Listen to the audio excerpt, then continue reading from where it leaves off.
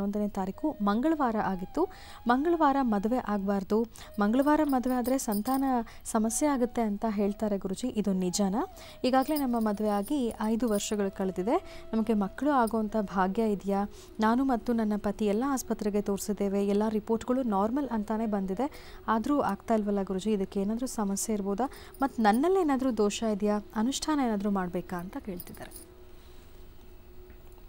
ಮೊದಲನೇದಾಗಿ ರಾಯಚೂರು, ಮಾನವಿ ತಾಲೂಕಲ್ಲಿ ಅಲ್ಲೂ ಸಹಿತ ನನ್ನ ಅಭಿಮಾನಿ ದೇವರುಗಳು ಸಾಕಷ್ಟು ಜನ ಇದ್ದಾರೆ. ಅಭಿಮಾನಿ ಸಂಘವೂ ಅಲ್ಲಿದೆ.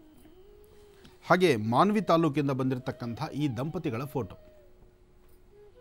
ಇವರ ಫೋಟೋ ಕಣ್ಣರೇಖೆ ಪ್ರಕಾರ ಚಂದ್ರ ಮತ್ತು ಗುರು ಇರತಕ್ಕಂಥ ಆಸ್ಥಾನ ಚೆನ್ನಾಗಿದೆ, ಭಯಪಡಬೇಕಾದ ಅವಶ್ಯಕತೆ ಇಲ್ಲ, ವೈದ್ಯರ ಸಲಹೆನೂ ಬಹುಶಃ ಬೇಡ ಅನಿಸುತ್ತೆ. ನಿಮಗೆ ಸಂತಾನ ಆಗುತ್ತೆ. ಕೆಲವೊಬ್ಬರಿಗೆ ವಿಳ, ವಿಳಂಬ ನಿಧಾನ ಆಗುತ್ತೆ ನಿಜ. ಹಾಗಂತ ಭಯಪಡಬೇಕಾದ ಅವಶ್ಯಕತೆ ಇಲ್ಲ. ಕಣ್ಣರೇಖೆ ಬಹಳ ಸ್ಪಷ್ಟವಾಗಿದೆ, ಸಂತಾನ ಆಗುತ್ತೆ. ಇದಕ್ಕಾಗಿ ನೀವು ಮಾಡಬೇಕಾಗಿರ್ತಕ್ಕಂಥ ಸಣ್ಣ ಪುಟ್ಟದ ಒಂದು ಪರಿಹಾರ ಇದೆ. ಸಣ್ಣದಾದಂಥ ಒಂದು ಪರಿಹಾರವನ್ನು ಮಾಡಿಕೊಂಡು ಮೊದಲು ಮಂತ್ಲಿ ಡೇಟ್ಸ್ ಅಂದರೆ ನಿಮ್ಮ ಪ್ರತಿ ತಿಂಗಳ ಋತುಚಕ್ರ ಹೇಗಿದೆ ಅನ್ನೋದನ್ನು ತಿಳ್ಕೊಂಡು ಅದಕ್ಕೆ ಸಂಬಂಧಪಟ್ಟಂಥ ರೀತಿ ಒಂದಿಷ್ಟು ಅನುಷ್ಠಾನಗಳು ಬೇಕು.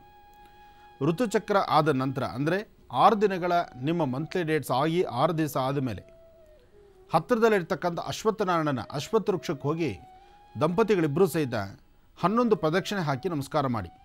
ಅದನ್ನು ಹದಿನಾರು ದಿನಗಳು ಮಾಡಿ. ಹದಿನಾರು ದಿನ ಕೆಂಪು ಕಲ್ಸಕ್ಕರೆ ಹಾಲು. ರಾತ್ರಿ ಮಲಗೋದಕ್ಕಿಂತ ಮುನ್ನ ಇಬ್ಬರೂ ಸಹಿತ ಕೆಂಪು ಕಲ್ಸಕ್ಕರೆ ಹಾಲು, ಬಾಳೆಹಣ್ಣು ಇದನ್ನು ಆಹಾರದಲ್ಲಿ ತೆಗೆದುಕೊಂಡು ವಿಶ್ರಾಂತಿಗೆ ಹೊರಡತಕ್ಕಂಥದ್ದು ಒಳ್ಳೆಯದು ಇನ್ನು ನಿಮ್ಮ ದಾಂಪತ್ಯ ಜೀವನ ನೆಮ್ಮದಿಯಾಗಿರಲಿ, ನಗನಗ್ತಾ ಇರಲಿ, ಸದಾಕಾಲ ಹ್ಯಾಪಿಯಾಗಿರಿ, ಖಂಡಿತವಾಗಲೂ ಸಂತಾನ ಆಗುತ್ತೆ. ನಿಮ್ಮ ಕಣ್ಣು ರೇಖೆಯಲ್ಲಿ ಬೇರೆ ಅಂತಹ ದೊಡ್ಡದಾದಂತಹ ಮರ ಹತ್ತು, ಗಿಡ ಹತ್ತು ಅಥವಾ ಬೆಟ್ಟ ಗುಡ್ಡ ಹತ್ತು ಅನ್ನೋ ಅವಶ್ಯಕತೆ ಇಲ್ಲ. ಅಥವಾ ಯಾವುದೇ ವೈದ್ಯರ ಸಲಹೆನೂ ಬೇಡ ಅಂತ ಅನ್ಸುತ್ತೆ. ಶೀಘ್ರವಾಗಂತೂ ಸಂತಾನ ಆಗುತ್ತೆ ಭಯಪಡುವಂಥ ಅವಶ್ಯಕತೆ ಇಲ್ಲ. ಹ್ಯಾಪಿಯಾಗಿರಿ, ಸಂತೋಷವಾಗಿರಿ. ನಿಮ್ಮ ನಗುಮುಖ, ನಿಮ್ಮ ಸಂತೋಷ, ನಿಮ್ಮ ದಾಂಪತ್ಯದ ನೆಮ್ಮದಿ, ಸುಖ, ಸಂತೋಷ, ಅದರಲ್ಲೇ ಸಂತಾನ ಆಗುವಂಥದ್ದು. ಒಳ್ಳೆಯದಾಗಲಿ, ಸುಖವಾಗಿರಿ.